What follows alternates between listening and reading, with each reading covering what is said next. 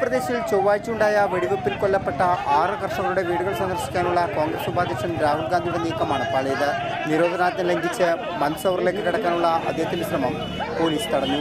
രാജസ്ഥാനിലെ ഉദയ്പൂരിൽ നിന്നും മോട്ടോർ ബൈക്കിൽ പുറപ്പെട്ട രാഹുലിനെ നിമുച്ചിൽ പോലീസ് കസ്റ്റഡിയിലെടുത്തു കോൺഗ്രസ് നേതാക്കളായ ദിഗ്വിജയ് സിംഗ് കമൽനാഥ് സച്ചിൻ പൈലറ്റ് ജെ ഡി നേതാവ് ശരത് യാദവ് എന്നിവരെയും തടഞ്ഞു.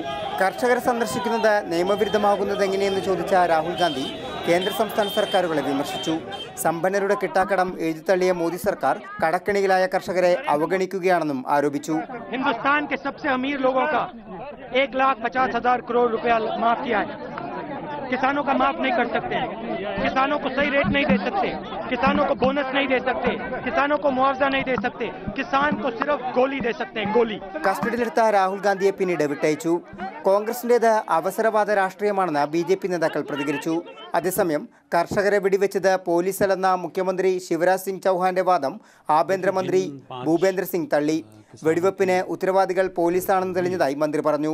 പ്രക്ഷോഭം നിയന്ത്രിക്കുന്നതിൽ പരാജയപ്പെട്ട മന്ത്രിസൗർ കളക്ടർ സ്വതന്ത്രകുമാറിനെയും എസ് പി ഒ പി ത്രിപാഠിയെയും സ്ഥലം മാറ്റി.